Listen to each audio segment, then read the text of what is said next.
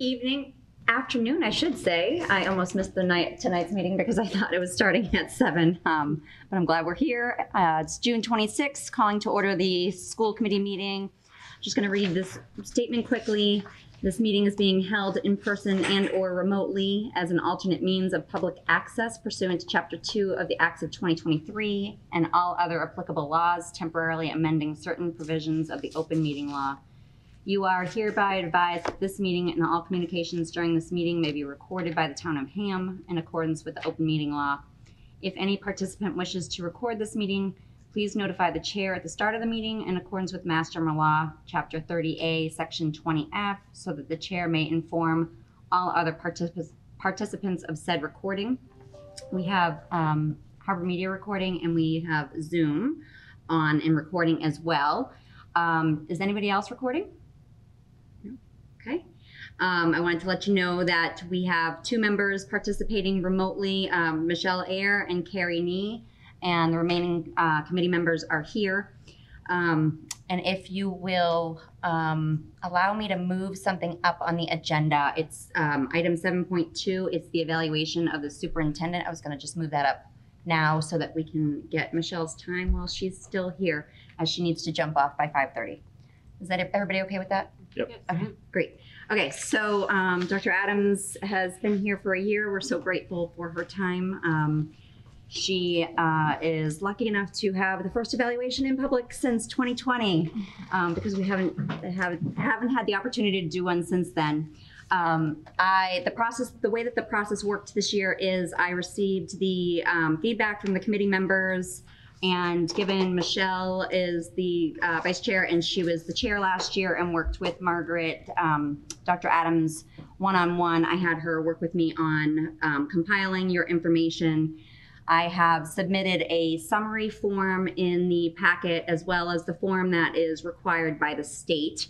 Um, so you can you can take a look at that. But I thought I would hit on the high levels here, um, and um, then I guess at the end we'll have to vote on uh, where we ended up. So, um, based on the evaluation provided, is it is evident that Dr. Adams is regarded as an intelligent, thoughtful, and effective leader who prioritizes the needs of students. She has displayed several attributes of a successful leader, including being a diligent worker, demonstrating commitment to the staff and the community, and introducing improved processes and communication within the Hingham Public School System. One notable achievement of Dr. Adams is her ability to assemble a strong central office team that has provided stable leadership during challenging times, such as the aftermath of the global pandemic and previous leadership changes.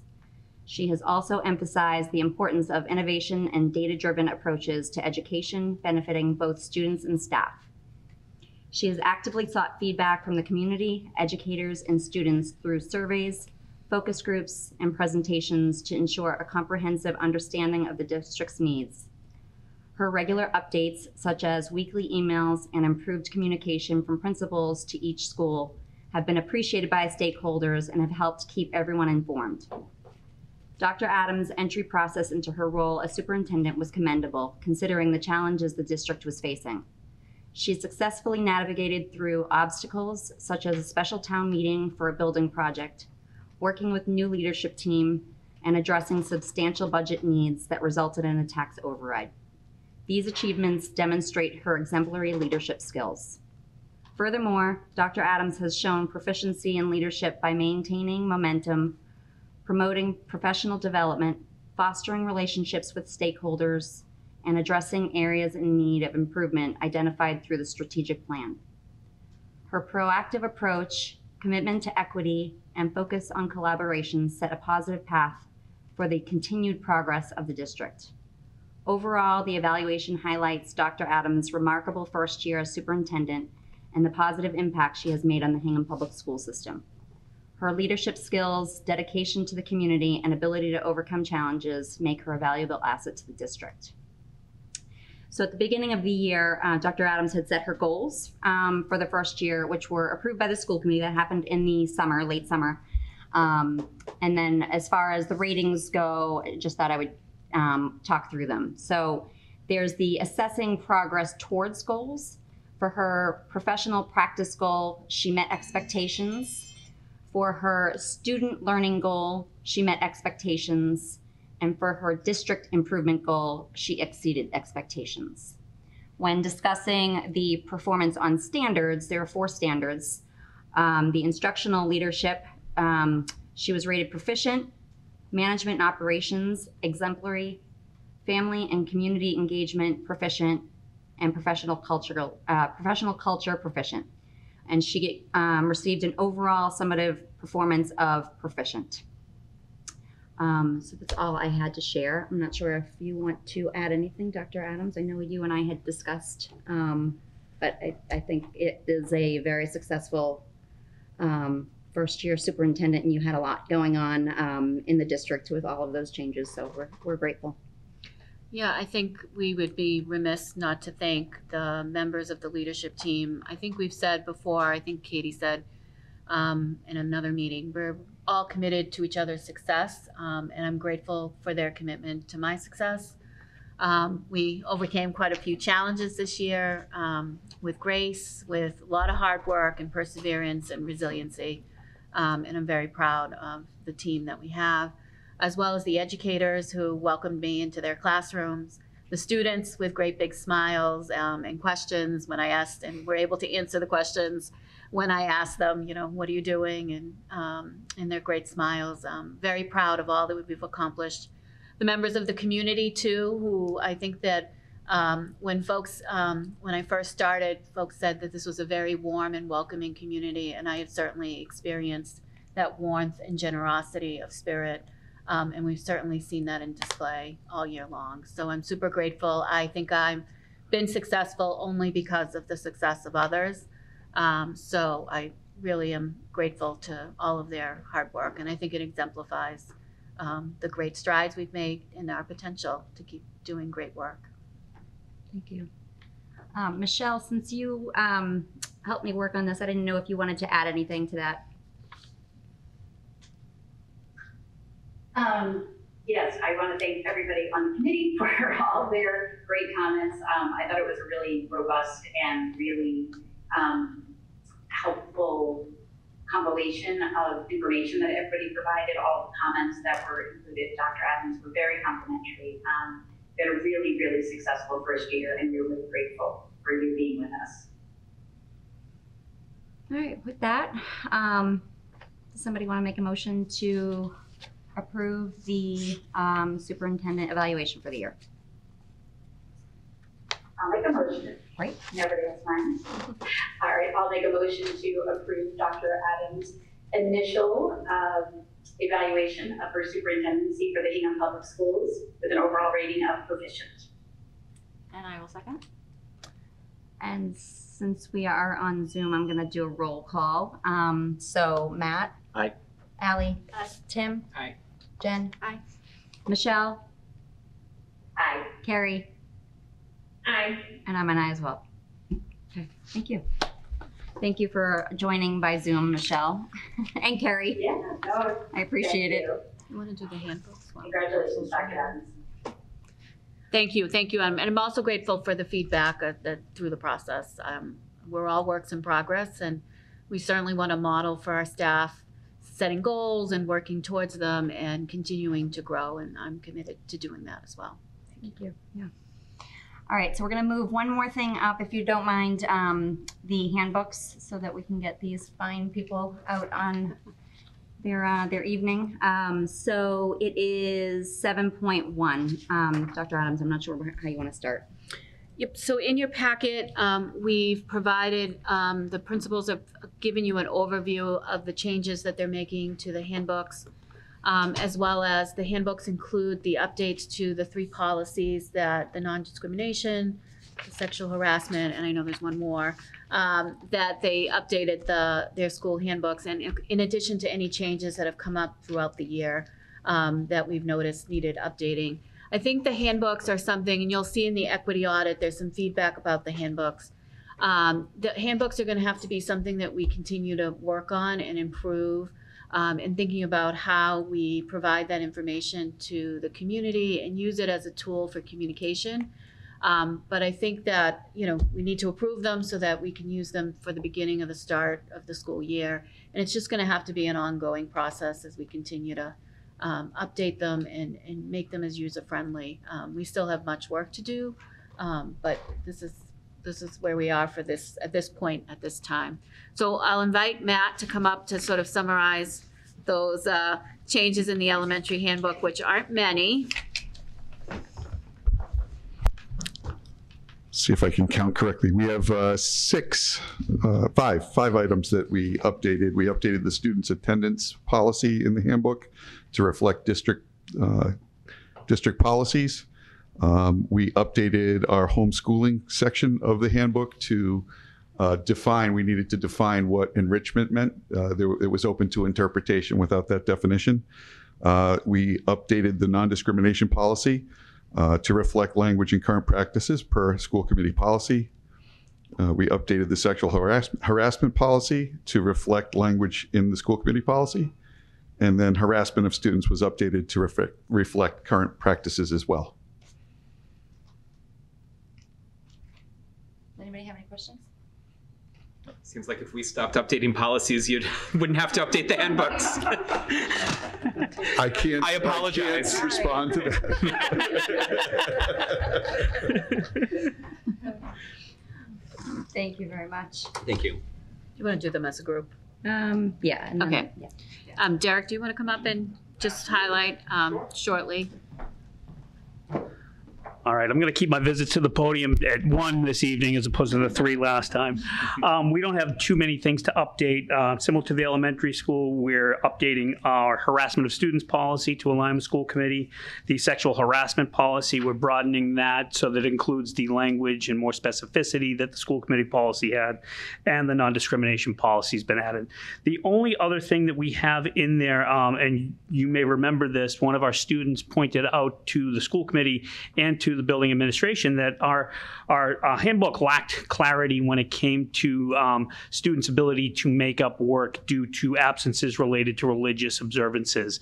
Um, it was always understood, it was always communicated to the faculty, but never explicitly stated to our, our parents and students. So we felt that now was a good time to include that.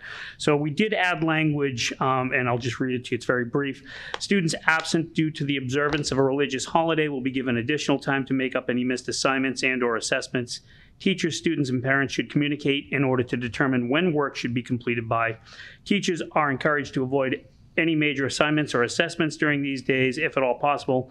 Families are welcome to request work in advance of a holiday, and teachers may provide if possible.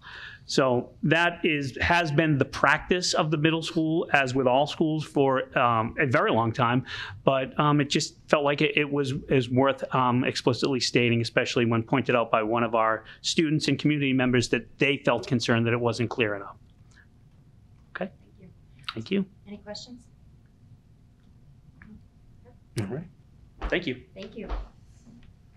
And I'll invite Mr. Swanson. He has a f- much more significant changes, but, um, Sorry, there are more points to the high school uh, memo here, actually 18 points. A lot of them are really minor editorial changes, but I wanted to include every one of them just to make sure they were, they were all on your radar screen. Some as simple as uh, point number one, where we we're updating uh, listing of staff members, uh, replacing a couple of people who won't be with us next year. Um, Point number two on the memo is acknowledging a change that was made earlier this year. If you remember, uh, we changed the graduation requirement to allow sophomores to be able to replace physical education with an alternate means. So we're acknowledging that on page seven and eight uh, of the handbook. Uh, that's also connected with uh, point 3A, counselors meeting with freshmen and sophomores during PE and or health since uh, there's no longer any guarantee that sophomores would be taking PE. And we know through course requests that most of them actually have, have chosen other electives. So uh, counselors will, will be meeting with sophomores primarily through health classes. We found a few um, typos, so point 3B is just a typo there. Uh, on attendance policy number four, there's no change to the policy, but rather just a change to how we're keeping track and documenting those absences and no longer wanting to require a physical note on paper, but rather communicating through email from our attendance secretary to parents or guardians and, and acknowledging and documenting those absences that way. So just an updating to how we're doing that. Uh, and point number five, uh, under Saturday school, one is a typo, and then number two, just changing some of the language to Saturday detention rather than Saturday school, and also just allowing a little more flexibility on the consequence. So changing the word will result in two day suspension to may result in two day suspension in the hopes that we may be able to, to implement some more restorative stuff and avoid uh, two day suspension for, for students who missed a Saturday detention. Point number six is um, a continuation, really, of point number four, but just uh, deleting some of the language again about requiring a paper note as we had traditionally done. So we'd be eliminating a few sentences there. Point number seven is an update. Uh, as we were going through the book carefully this year, we uh, recognized that this academic integrity committee, which existed a long time ago, but but really has not met in more than a decade, we should probably eliminate that since it's no longer really a viable committee at the school. Um, and actually, that's point number eight. Rather, uh, point number seven was similar to what we had done on the Saturday detention, wanting to eliminate a kind of a mandatory uh, sentencing here and, and requiring a zero, but rather saying it would be a failing grade in the hopes that, uh, again, maybe some restorative stuff and an opportunity for students to, to resubmit work. Uh, and point number nine, uh, there's a little bit of a loosening here to the language where we had we had said in the handbook that food and beverages may not be consumed anywhere other than the cafeteria, recognizing that's that's actually not really the case in practice.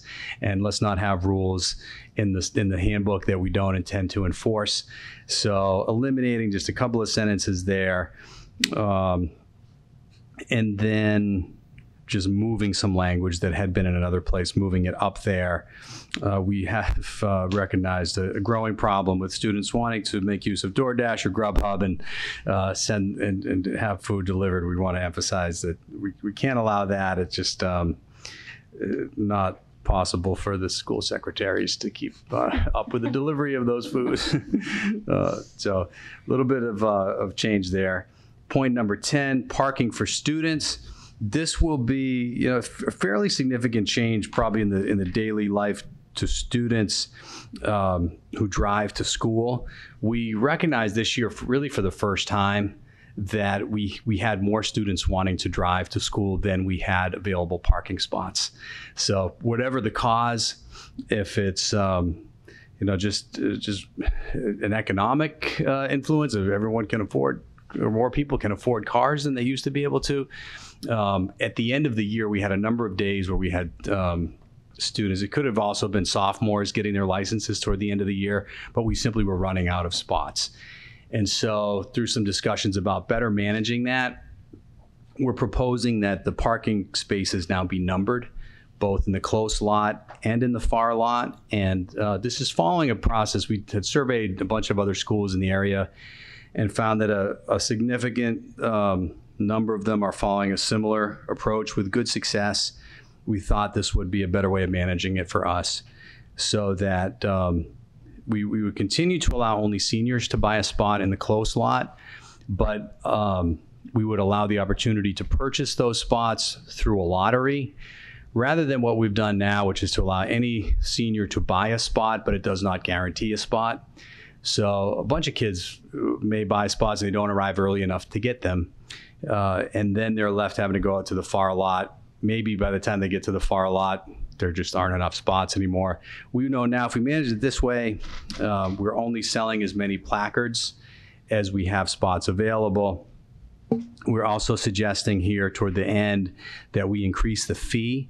Uh, it's currently been uh, free to park in the far lot, but we're proposing just a, a um, very minimal fee of $20 for far lot parking it would cover the cost of painting the spots and also managing it, ordering the placards and so forth.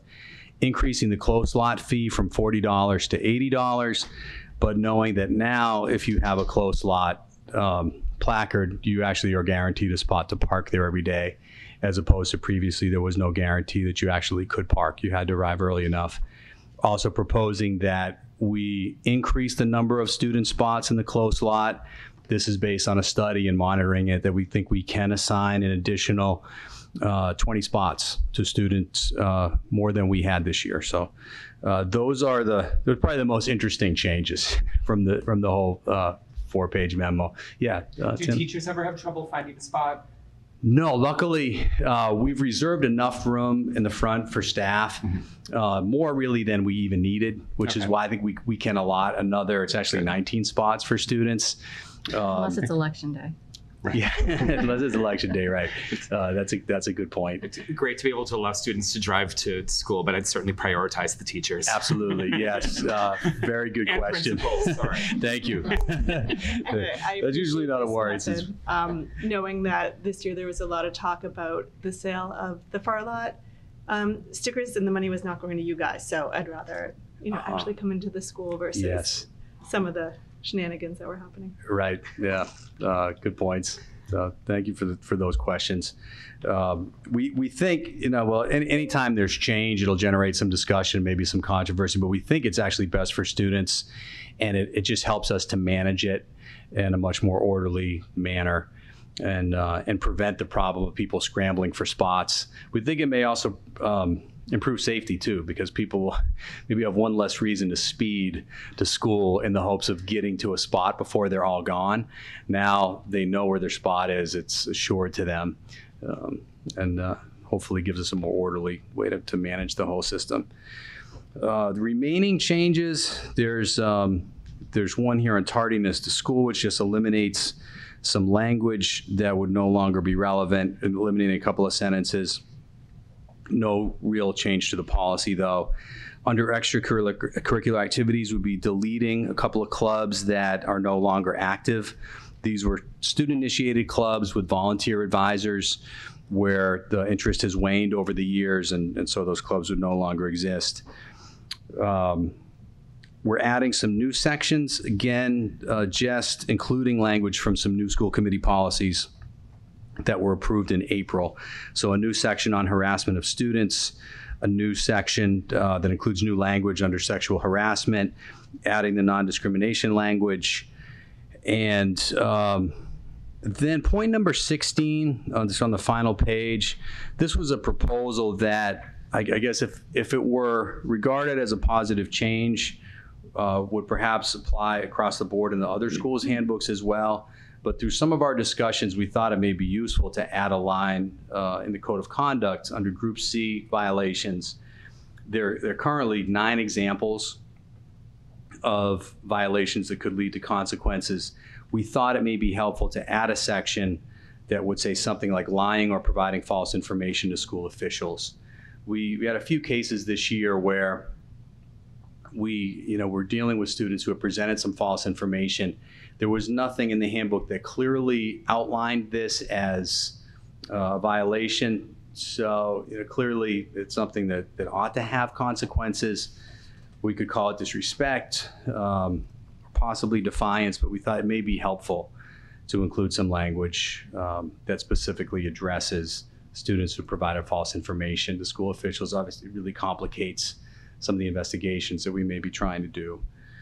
Um, the other things, again, are just adding some some new language or updating names of staff members, and uh, and that's about it. So that, there's all 18 points. Happy to take any any questions. other if there are questions? any. Okay. We probably should put the fee um, increases on the July 10th meeting agenda and do that as a separate vote so that you're voting on that agenda Right. item and those fees separately. So Okay, we'll put that on the July 10th with some explanation. Um, sounds good. Great. Thanks, everybody. Okay, thank you.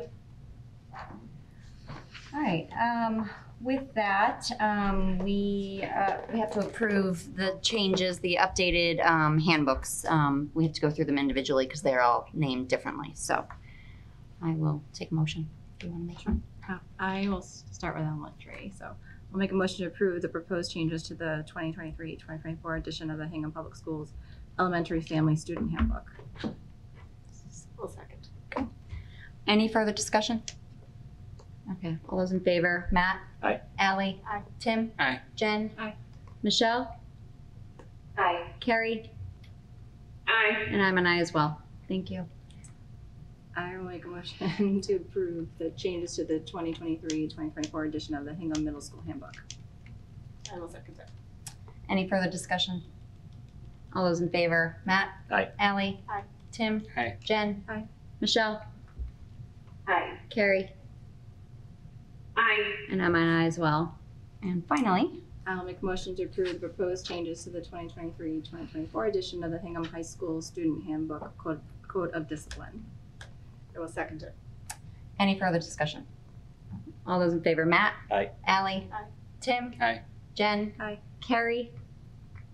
Aye. Michelle? Aye. And I'm an aye as well.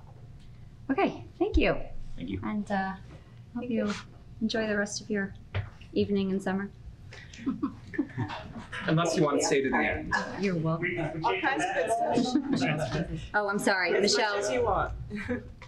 I thought Michelle's.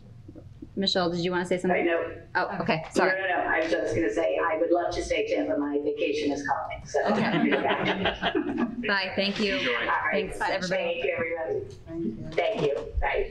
Bye. Okay, so I will go back up. Um, approval of the minutes, two, um, item two is approval of the minutes. We're gonna table that for now. Um, item three is questions and comments. So we set aside fifteen minutes to take questions and comments, um, for items that are not on tonight's agenda. Um, is there anyone who has any questions or comments? If you can raise your hand. I'll give it a second. No. Okay. All right. So we'll move on um, to item number four, which is the superintendent's report. Um, Dr. Adams?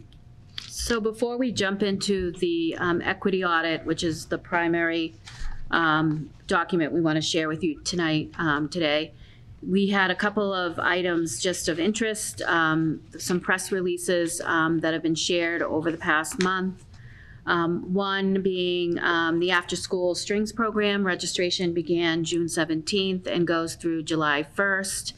Um, Remember that we started a pilot um, this year that was highly successful. Um, This is to extend um, the pilot, and we're grateful to um, Jackie Sansoni, I know she's online, Aisha um, as well, and um, Joanne Bellis for coordinating the expansion next year of the fall sessions. They're 15 weeks in length, one class per week, um, and it'll finish with a class concert. It uh, provides for exposure to um, instruments, enrichment and technique for strings instruments, um, and registration is ongoing, and they'll take place at each of the individual schools. So we're excited to expand that opportunity um, to the community, so. The, we were, um, we're grateful also to announce the permanent selection of uh, Michelle Romano as the Director of Science. Um, we were grateful again to have her share with the community um, and the leadership team all the work that she had accomplished this year, um, specifically supporting um, our high school expansion of some dual enrollment at the high school, as well as the OpenSciEd, which you've heard a lot about at the middle school. Um, and we're grateful to have her continue that work into next year um, as well. Um, you had some previous, they're kind of old news, but just sharing with you um, press releases on um, the appointment of um, Barbara Cataldo as our interim executive director for student services, um, Katie Roberts as the permanent assistant superintendent for curriculum and instruction. Um, we also were trying to do some outreach on um, new student registration um, with the press, as well as providing um, just trying to clear up clearly where how people go about the registration process. Heather Cashman helped in cleaning up the website to make it a little clearer and easier to find, um, as well as clearing up, you know, what are the really specific things um, that folks need in order to register, um, and just trying to get the word out for folks to make sure if they're enrolling their students for the fall that they can do so and how to do so. Um, in addition, we had um, 37 um, Hingham teachers who were honored by the Plymouth County Education Association um, back in May of 22nd. including um, Donna Fennessy for 35 years of professional service, um, for 30 years of service, um, Karen Breen, Daniel Clune, Paul Donovan, Paula Flanagan, Laurie Grillo, Peter Healy, Mary Beth Lally, Monica Matthews, Cynthia McKeon, and Jonathan Rice. So I think those we can celebrate and honor um, 30 plus years of service um, to education of all of those employees um, as well. So we're gonna, Katie and I are gonna um, team tag the equity audit. Um, You have a full 81 pages of um, documentation that we are gonna try to simplify um, in about 10, 10 or 15 minutes um, for you, as well as welcome um, discussion um, on the document. So first, um, we'll tell you a little bit about the process. This was a year-long process. We worked with the equity process, um, and specifically um, Cindy Weeks Bradley, who's the main consultant at the equity process, um, as she shepherded us through this process. This is sort of a document that outlines what is. Um, So you'll see um, at the end, we sort of give a give glimpse into um, some next steps um, and what we'll be doing and our plans moving forward. But it really was to document um, and give us a fresh perspective from the outside about what's happening and give us some recommendations um, in that we now have to figure out how to use those that information. You're also seeing it, you're like one of the first groups to see it. The leadership team hasn't seen it or delved into it too much.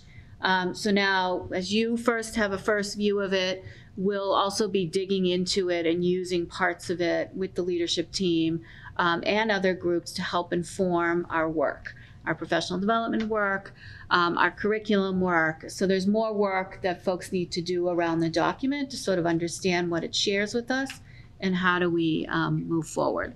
So a little bit on the process that was used for the equity audit. Um, these, these are the members of the Equity Task Force um, that sort of participated all year long in sort of giving feedback and um, sort of revisions and different parts of the plan as the year went on.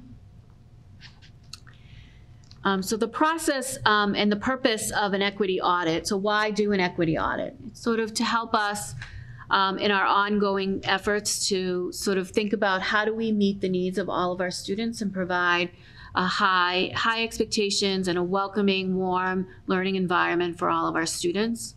It helps us think about how this collaboratively as a community, that question about how do we provide for equity and inclusion for all of our students, both now in the present and also as we support students for the future. How do we support our young people to be members of a growing diverse community, both here in Hingham and beyond, um, as they move forward into career and college um, opportunities? It's based on research. What research says means what is a comprehensive um, um, a learning environment that is welcoming of all students. Um, based upon that research, what are um, the findings and recommendations, um, and what are the things that we should be doing in our school environment to support all students? It had three phases. Um, the first phase delved into um, looking at, um, it was sort of like a desk audit of a lot of our written materials, looking at our policies, our procedures, our handbooks, um, our websites, anything that was public facing and written. So it's kind of like a desk audit. That was the first phase. Um, we collected materials and shared um, materials with um, the folks doing the audit um, as well. So some forward faces and some some internal documents that we shared. In the second phase was sort of going out and seeking some feedback through surveys and some facilitated discussions um, with diverse community um, and staff members.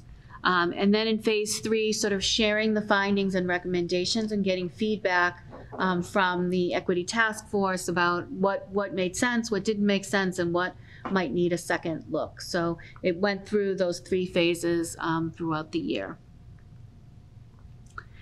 Um, this, these are some of the data sets that were reviewed as part of the first phase of the audit. You'll see um, policies, procedures, um, the superintendent's entry plan, professional development plans, um, materials that have been done in the past in relation to equity. So there was some equity. You would have received a report a couple years ago about some equity work. So they looked at all of those documents as well.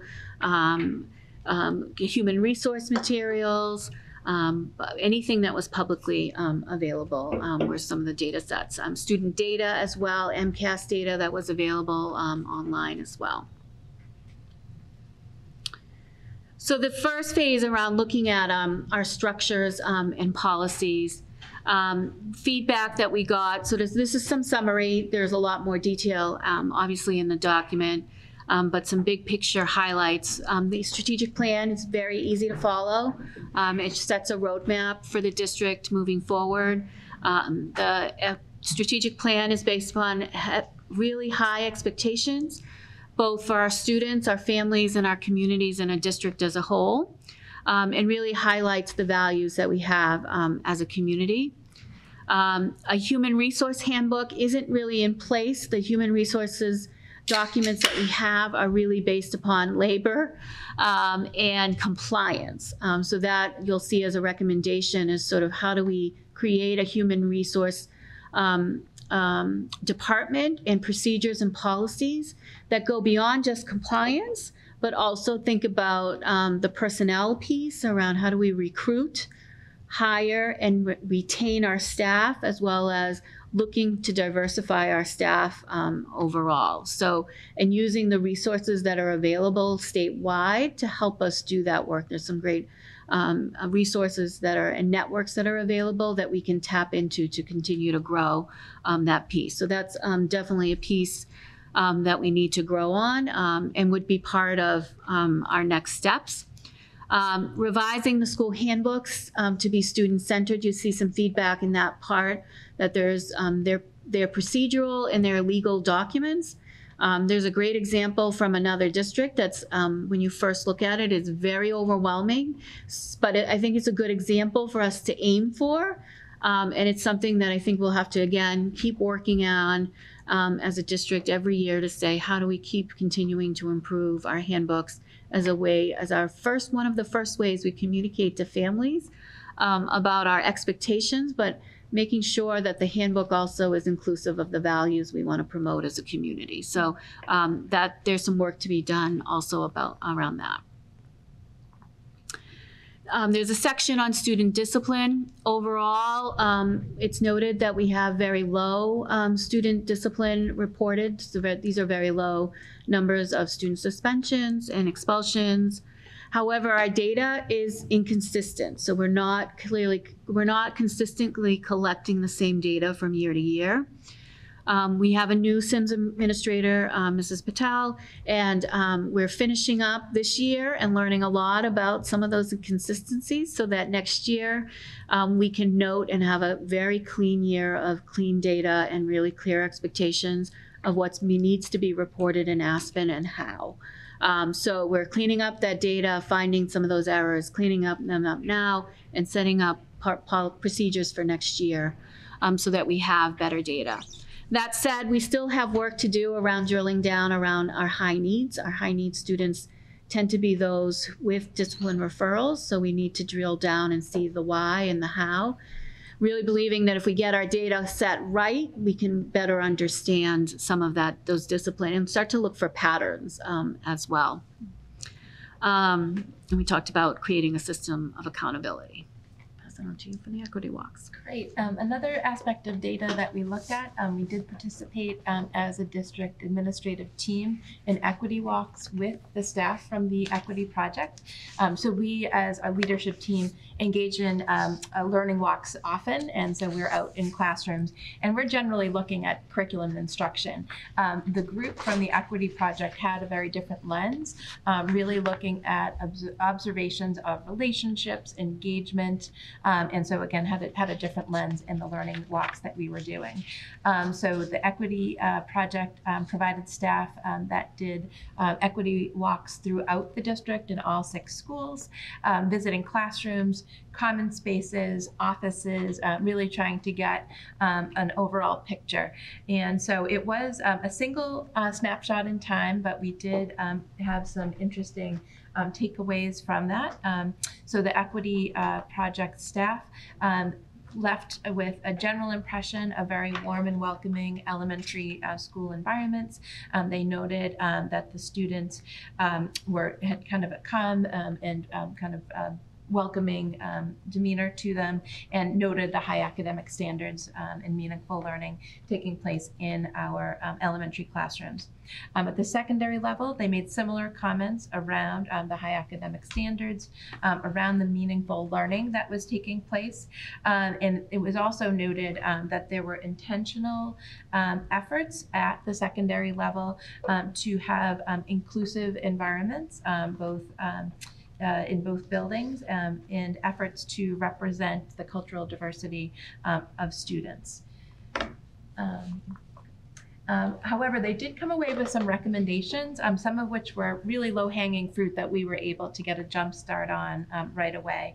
Um, there was a comment that, um, particularly in our hallways, um, that uh, they made a recommendation that we include some additional visual displays uh, to provide what are known as uh, windows, mirrors, and sliding doors for students to feel represented and to feel uh, welcome um, in the physical spaces. There were also some interesting comments just about the setup of our secondary classrooms. Uh, we do have, um, particularly at the high school, an older building with very traditional furnishings. And so, um, really thinking about how a physical space can drive um, student interaction and student um, engagement. Um, another um, op- opportunity, um, they did recommend that we actually include students in those conversations um, in thinking more about the physical design and thinking about how we can use, again, those physical spaces to drive engagement, interaction, and to really foster team problem solving. Um, and also um, made a comment, um, this surfaced in the surveys as well, that students generally feel um, safe and included in classroom spaces, um, but they did encourage us to think deeply about some of the other public spaces um, because both in their walkthroughs and also in the surveys, there was a sense that, that some of the other um, uh, physical spaces outside of the actual physical classrooms were areas that we may want to think about differently. And I think too, I would say that as the year progressed, I think coming out of COVID, we still had many classrooms still in rows. And I think as the year has progressed, we've seen some change in the winter into the spring as staff became more comfortable. But still, a place that we want to continue to monitor is our spa- classroom spaces and how we create collaborative spaces. We also did another round of equity walks with the leadership team, um, just ourselves um, where small groups went to a particular school and just did a walkthrough, and we did a, a, one of every building again.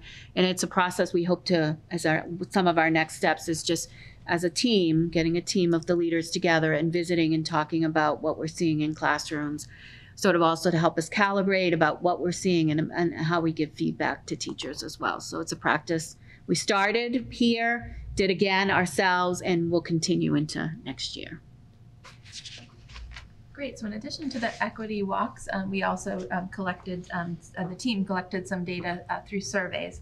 And the surveys were of students, families, and staff. And it was interesting uh, for us to see where there was consensus um, between students, family, and staff, and where there might have been um, some variation. Um, so that would be an area for us to explore further. So it was clear from all three surveys that there was a general sense of students, families, and staff that uh, curriculum and instruction is impactful um, and um, serves uh, students well in terms of preparation. Um, however, there was um, some um, uh, area areas for growth in terms of promoting more voice and choice um, in, in students, um, particularly I would say at, at the secondary level. So again, there was a comment of um, you know kind of very high academic standards, um, but thinking about that voice and choice, and that is um, very much in um, alignment with the work that we're doing around universal design for learning. Uh, voice and choice is one of the main tenets of that, and so some professional development is underway to address that. Um, there was also um, some indication in the surveys that we do have some work to do around um, school climate and culture and relationship building, uh, particularly um, at the secondary level. Um, so the students, again, as I mentioned in the um, equity walks, did uh, feel a, a sense of uh, a safe and supportive classroom environment, but thinking about some of those other um, public spaces um, at the secondary level, um, there was some um, uh, areas uh, for concern and areas for growth coming out of the surveys. So the report also outlined, looked at some data, some MCAS data that you've seen in the past, and I think this is also consistent with past equity audits um, that looked, the past um, equity audit that also looked at um, the performance of particular subgroups. Um, with Black students consistently being um, the lowest percentage of students meeting or exceeding expectations in ELA. Um, math performance varied greatly depending on the student subgroup. Um, our students with disabilities also um, had the lowest percentage um, meeting or exceeding expectations across MCAS exams.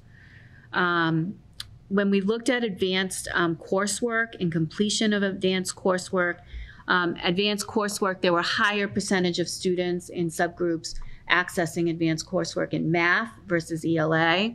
Um, one of the things we discovered in the way this is reported to the state in ELA, there are only two ways to be categorized as advanced coursework, and that's taking advanced placement, either taking advanced placement English literature or language. In math, there are many more options. So if you take pre-calculus honors, um, if you take an AP course, if you take calculus um, honors. So there's just, and there's like a list of 20 courses that count towards advanced placement. So um, it would be, it's interesting for us to dig a little further deeper to see if there's really um, any difference or is there just, just a wider array of courses and pe- students are accessing more of those courses because there's just more availability and choice. So that's something for us to consider, as well as to consider um, are, are, are we providing enough access for students to reach AP English um, as well, for us to think about. Um, some recommendations um, for a review of the data included looking at our internal data. Um, the July 10th meeting, we will have some end of year data for ELA and math as we've been reporting beginning, middle, and end of year data. So we'll be sharing some of that data um, as well. We, I know you'll see that there's been a lot of growth as well as some areas um, of continued need. Um, and so that, how, what does our internal um, formative and summative data show beyond MCAS? Um, there was an, a, place between 2021 and 2022 where our African American students made great, impressive growth in ELA. Um, you'll notice those are pandemic years. The, they were changes to the MCAS assessment. Curious if that had an impact on this. I think this is an area where, working with the leadership team, we need to say what happened during those years and what could be factors um, for that um, growth that happened between 21 and 22. Um, and really thinking about what are the specific um, actions and steps um, that we can do, uh, can put into place at the high school that will support um, completion of advanced courses. Um, we do believe that some of the initial steps we're taking towards dual enrollment at the high school um, will provide, because dual enrollment will count as advanced placement, um, a designation um, as collected by the state. Um, and really, the goal of advanced placement is, is just a, um, an ability to tell our students, hey, this is college level course, and if you want to go to college, you can do college level work, and this is what it looks like. And so that you're prepared um, when you get to college about the level of work and intensity and requirements. Um, so um, I think that dual enrollment already is a first, um, a nice next step that I think will help us um, broaden um, the scope of students who can access advanced coursework. And finally, some next steps, um, not in the report. Um, what we hope to do in um, the fall is come to, back to you with some goals, some very specific goals, and some action steps as we dive into the document as a leadership team and with different um, groups to really understand um, the recommendations and how we use the information to move forward. That said, we're not standing still. There are lots of things that are in motion um, and that are beginning to happen in preparation um, for next year. Um, the first is um, working with the leadership team um, and working with someone who will work with the leadership team all year long. Um, once a month to really help us think about um, how do we further the goals um, and the steps and the findings in this plan um, with the team. So working with our leadership team, how do we support um, our equity teams in our schools and the goals that we have in the schools, and some of the, help us move forward in some of the findings in this um, document. Um, I'll let Katie talk about the inclusion fellows. Do you want to talk a little bit about that? Yes, we have uh, work underway. Um, so uh, we have a group um, of about 15 um, inclusive practice fellows who will be working this summer on uh, developing um, some professional development for their peers in the fall. And so we'll be working with um, Emily Pat, who's an inclusive practice facilitator from the North Shore. She works for the SEEM Collaborative. So we'll be meeting with her in August, but the teachers are engaged in some pre-work um, this summer. And then um, this fall, um, we'll also um, be working with additional um, practitioners around culturally responsive practices. So kind of marrying that universal design for learning uh, with culturally responsive practices. And the goal of that group will be to be like teacher leaders, where they're creating classrooms that um, tr- are trying trying out these practices that can be model classrooms for others, and as well as be teacher leaders along with their principals, um, sort of helping to share the information they're learning in small chunks to the staff, um, but really sort of help spread the um, the ways that this can happen in their classrooms um, among their colleagues. So our hope is they become a cohort of leaders who create and curate examples of what this looks like in actual practice. Because sometimes this is also, much of this work, it feels theory, theory, um, and then you're like, well, how do I make this happen with my students in front of my classrooms? And so here's a group of folks we're asking, hey, try this um, and give us feedback about what it looks like and then share it with your colleagues. So um, that's our hope um, with that group. Um, with our um, Kelly Larkin, our human resource coordinator, um, we hope to strengthen and sort of really document um, our recruitment and hiring and retention. Um, and really, um, our goal, our long term goal, hopefully by the end of next year, is to create a, a human resource handbook that really outlines those processes and procedures and really furthers the practices that are happening in pockets, um, but that need to be systemized um, across all of the schools and hiring teams um, that are in place. I think in addition, not on the slide, um, we know that um, we also need to do a deep dive into our special education programming. Um, when Dr. Cataldo gets started, one of the things I'd like to ask her is about how to do an audit of our special education programs, um, potentially a program evaluation that really outlines what are the programs um, in the schools, how do we make sure that we're supporting students between transitions, what are concerns of families and parents, um, and what are and hearing from them both through surveys and some focus groups and really documenting that? So we can really outline some next steps um, and some action steps to help us really um, set up um, a, a permanent executive director of student services with here's where we are same kind of process. Here's where our special education programs are.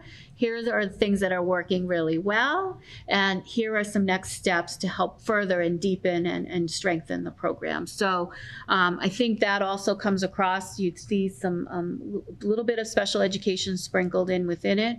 Um, but we really need to do a deeper dive just specifically to special education through um, my, the best means to do that is through a program evaluation, but I'm waiting for Dr. Cataldo to start in July to have a conversation about what are her thoughts about the best way um, to do that um, um, and get fresh eyes and perspectives because there's work to be done there as well. So um, I think that's an, an additional component that I think we should add there as well. That's it. Thank you. Um, does anybody have any questions? This the time to share thoughts? Yeah.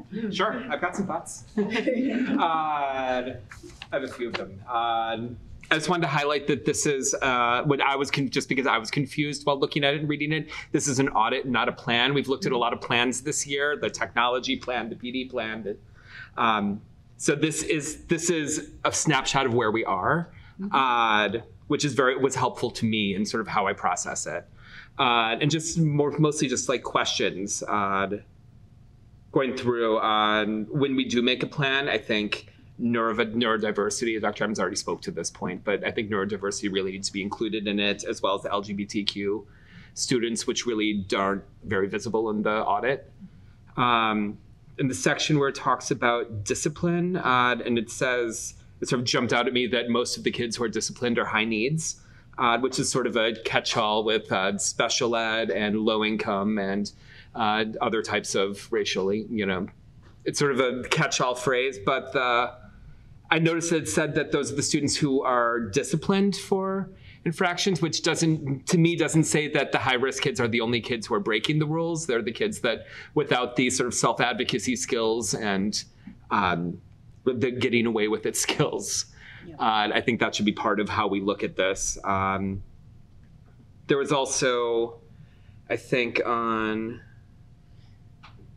oh, the uh, Katie was talking about the publics versus the classroom spaces in the schools. I just want to point out there's. I don't think there's a magical difference between the spaces. Really, the magical difference is the amount of supervision the kids get in those spaces. And to me, when it says that kids are behaving differently towards other towards their peers in spaces where they're supervised closely like in a classroom or less supervised like in a lunch or the hallway that that's when they sort of learned the norms of behavior but haven't internalized them. And that's sort of the work that we have to do uh, is because it's really about what how kids behave when people aren't looking. Um, yeah and then sorry i have my little list. Um, be interesting in the surveys that identified kids sort of uh, kids self-identified as not belonging and then more kids identified knowing that there are students who don't belong and don't feel the belonging in school. Anything we can do to identify who are the groups of kids who are missing we sort of labeled i've labeled lgbtq and neurodiverse kids but i'm sure there are more buckets that we're not doing. And i'm Oh, and just a question about accessing the advanced coursework. I was wondering if scheduling uh, continues to be part of that issue, and the, there's sort of the the accessing it, but then there seems we've gotten a lot talked a lot this year about just the scheduling as something that limits kids. Um, Yeah, something for us yeah, to consider. those are those are all just like random thoughts. Yeah, out there, one of the things that we need to do on an annual Mm-hmm. basis, I think, is do a school climate survey that just is just part of our practice. Mhm. Both that includes students, families, um, and staff. Um, and so generating a good questionnaire, and that questionnaire can change from year to year. We can tweak the questions and see what questions work. Um, but um, just instituting that so that we're getting feedback on what are the concerns uh, at all levels about how do you feel around your school climate and your um, inclusion in this climate. So it just needs to be part of our practice and having the principals and others on their team use that data to inform their next steps, Mhm. right? Um, so you know, what are the what are you going to do with that information to be responsive to the concerns? So if we we hear concerns from students about the hallways, you know, we have to take steps, Yeah. right, to to address that, um, and getting feedback about whether the things we're trying are actually working and having impact. So I think that's an important next step. Um, address is set, it's, it's clearly said in the audit, but something we absolutely need to do. Yeah, I just know there. Are, I mean, there are several sort of highlighted incidents this year that took place in public Mhm. at public such settings against LGBT kids. So I'd like just point that out of the not so much focus on like academic or non-academic, but really supervised, non-supervised. Great, Thank you. Anyone else? I have something else. Oh, okay. Okay. Um, yeah, thank you. This is, this is really good recommendations and thank you to everybody who, um, put so much work and care into this over the year. Um, I think Dr. Adams addressed, um, some of my concerns and that was just that the students with disabilities, they're our largest marginalized group in our district. And so glad to hear that um, you're, looking at doing an equity um, audit or of their, or just a, a, an audit of that department. I would just encourage that we get parents and maybe, students involved in that as well. Um, because you know, this group is more than well qualified to look at things like MCAS um, discrepancies in scores, but the softer things like the- whether you belong or not and um, whether you feel welcome in school, that's, it, I didn't feel like they necessarily had a voice in this particular audit. Um, so I think that's, there's a lot to dig into here. And then if, you, if you're doing a- an audit of the special education department, but I would just encourage reaching out to SEPAC and making sure that parents and students are rep- represented in that. Yep. And Ally? Um, yeah, my comment is, is similar to that. And first, thank you. This is a ton of work, and I think it does give us some really good direction and some place to focus. I thought it was really interesting when you asked about voice and choice and to what Katie was talking about. And um, it was somewhat consistent, but there were minor differences between what the teacher said, then what the student said, and what the parent said.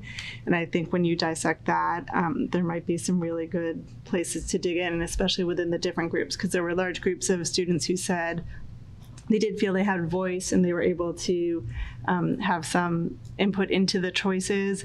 But then there were slivers that you suddenly see where students were saying they didn't. And I think when you look at which groups they are, there might be some patterns there.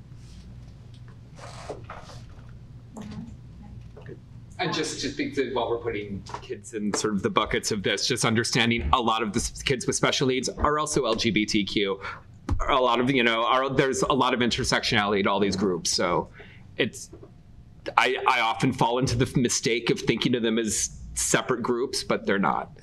So I think that it's important to note this is, this is a first step, not the end of the journey.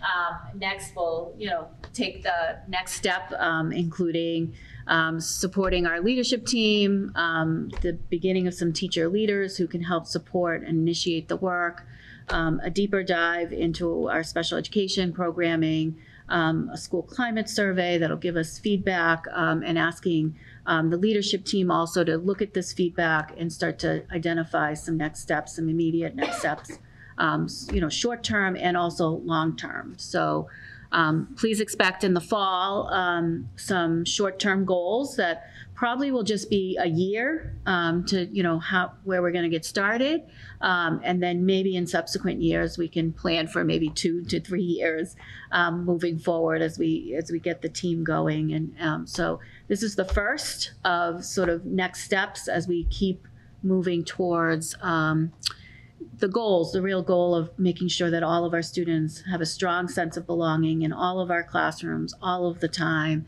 and have equal access um, in all of our, in, in it's every student. And our neurodiverse, our students with disabilities, our African American, our Latinx, our Asian, um, and our LGBTQ plus um, all of our students. So, and that's the commitment of myself, the leadership team, um, as we move forward. Um, at, at being part of the team, um, we started doing the work as a district in 2021, um, and I appreciate that you have prioritized this when you came on. You brought in a new coach with a, a new vision and a new set of eyes, um, and I think it's. Um, I'm really appreciative of Katie Roberts, all the time that you put in, and the, the entire team. Um, we meet um, at least monthly. So it is a process that has been going on for a long time. Um, I appreciate that you will be doing the school climate surveys.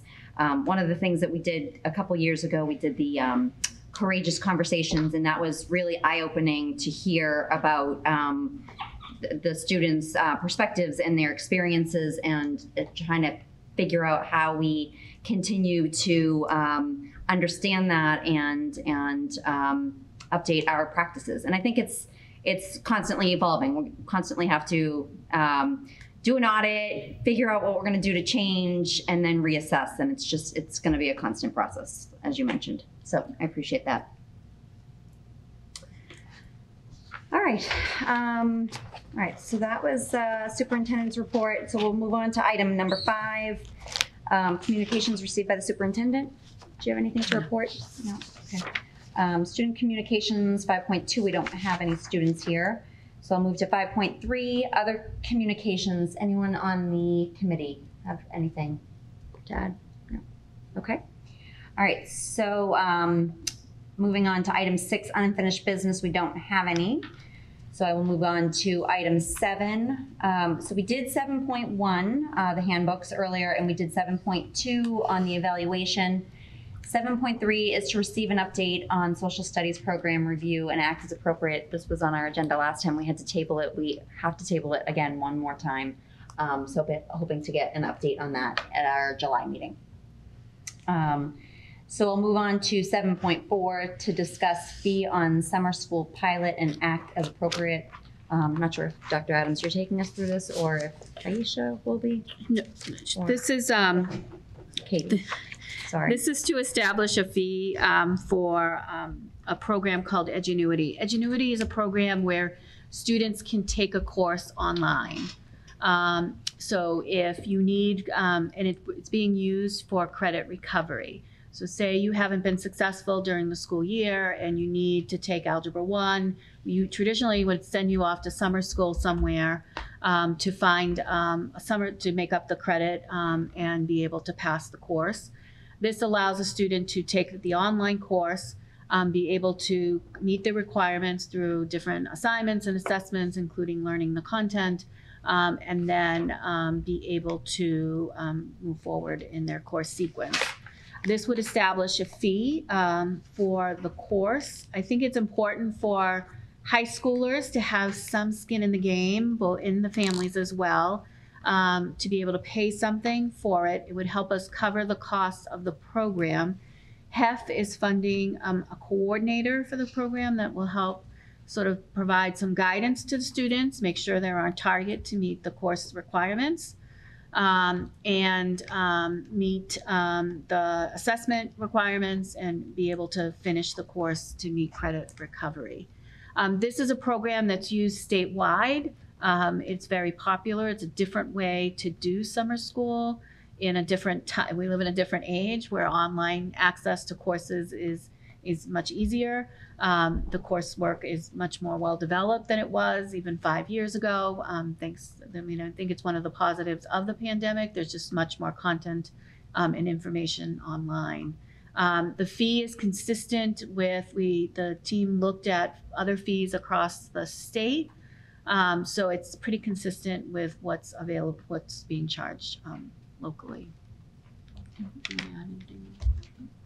I, I use Edgenuity at my day job. It's uh, it's very good for credit recovery. I yeah. So our hope is to pilot it. If it goes well, it's something that we can continue to do, use during the school year for kids who might be struggling, um, who are out of school for um, medical reasons or um, need to, or anxiety or f- school avoidance. There are, there are other uses during the school year as well, um, but we're going to start it in the summer and see how it goes. That's great. How, how much coordination do we think is needed?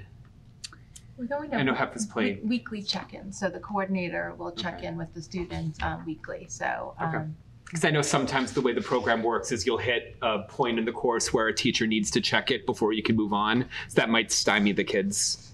So it depends on how much overview it is. Like mm-hmm. where we do, we just we have kids with no boundaries. We just get text messages at home from kids mm-hmm. saying update our Edgenuity. But mm-hmm. I don't think that's what teachers here want. Yes, so the coor- the coordinator Yes. will be responsible for, for weekly check-ins, yeah. Anyone else? Okay. Um, all right, so I, I believe we have to vote on this, right? Yes. Yes. Make a motion.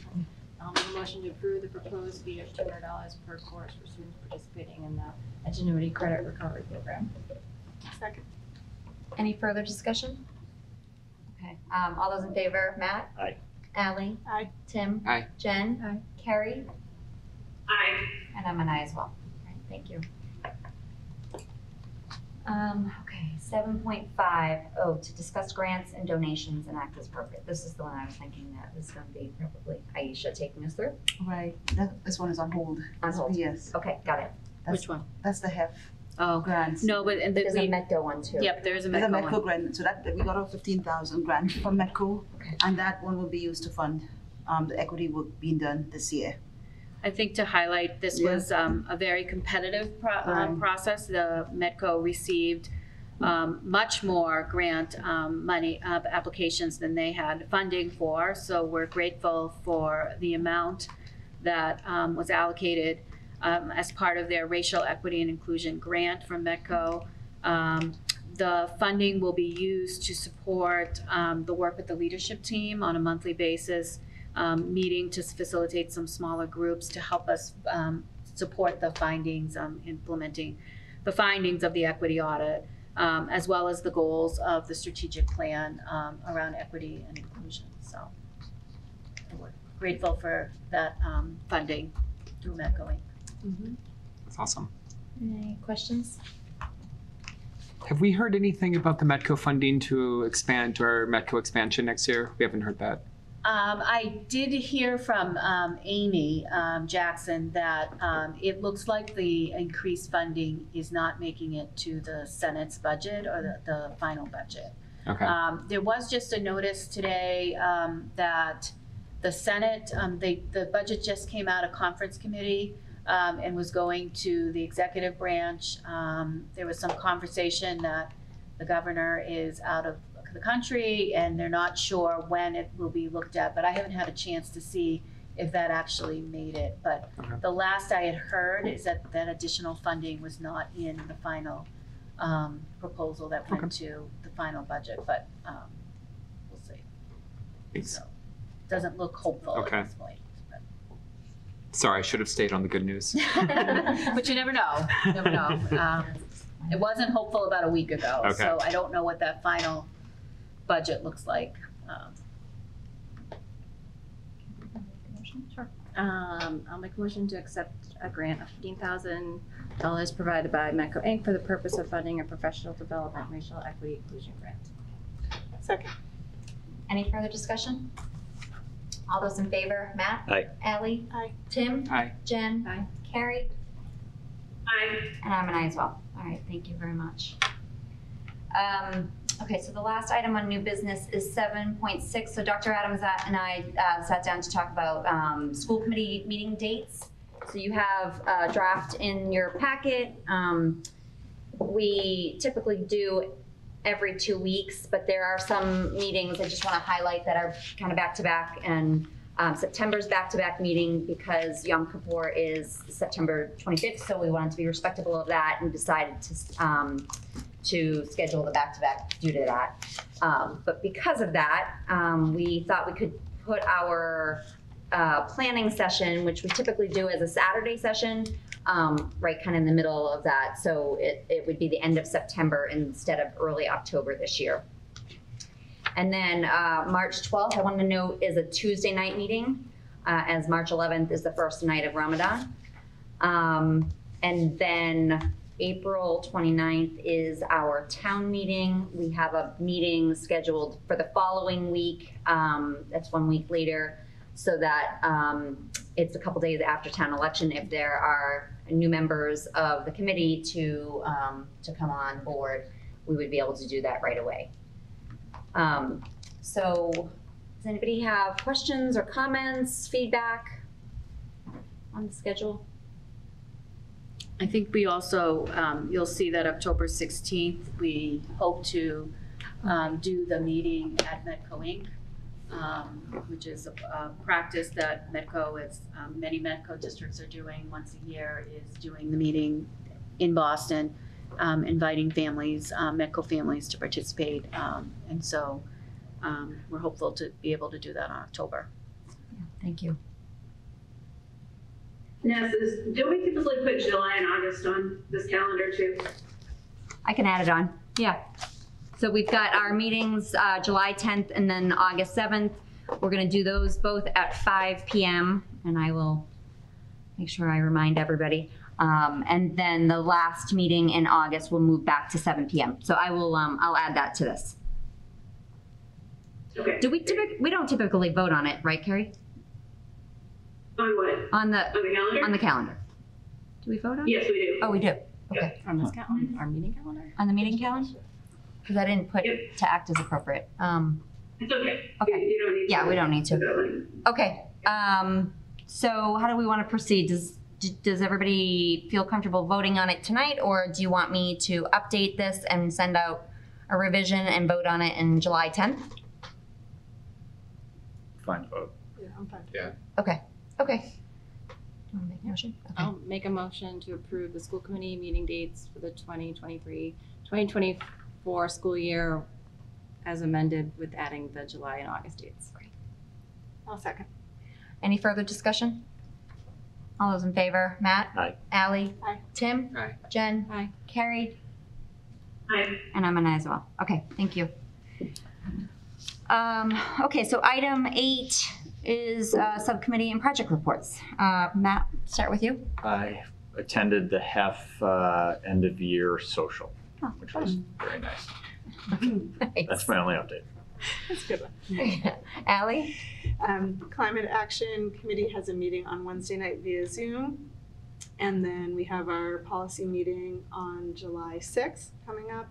And there's a Hingham Arts Alliance end of year meeting on July 13th. Um, I went to the SNAP meeting on, which was last Tuesday, 13th. And I also, we had the educational program, I'm looking at Ally like she's, I don't know why. Uh, and we also had the educational programming subcommittee where we went over the equity uh, audit last Thursday. Okay.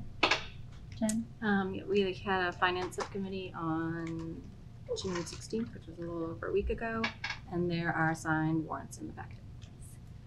Carrie? Salary negotiations met on June fourteenth with Unit B. Um, and we have a couple of other strategy meetings coming up, or one coming up on seven ten, which will be, um, salary negotiations with full participation of the school committee. Um, and then we'll be meeting again with Unit B on July twenty-fifth and with Unit A on August thirtieth. Thank you. And um, I don't have anything. So we'll move over to item nine. Anything under 48 hours? No. Um, before we move on to 10, there are uh, notations about the next school committee meeting. As Carrie mentioned, on July 10th, we will um, join. It's a salary negotiation subcommittee meeting with full participation of the school committee. So we will join in an executive session, and then our regularly scheduled meeting will start at five.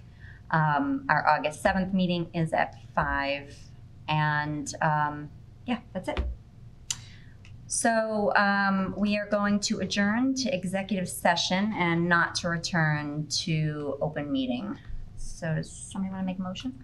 I'll make a motion to adjourn to executive session pursuant to Mass General Law, Chapter 30A, Section 21A3, not to return to open session to discuss strategy with respect to collective bargaining for HEA Unit A teachers and Unit B paraprofessionals as an open meeting may have a detrimental effect on the bargaining position of the public body, and the chair so declares. I so declare. And to approve minutes of the executive session held on June 12, 2023, as open meeting may have detrimental effect on the bargaining position of the public body, and the chair so declares. I so declare. Somebody want a second? Second. All right, roll call vote. Matt? Aye. Allie? Aye. Tim? Aye. Jen? Aye. Carrie? Aye. And I'm an aye as well. All right, thank you.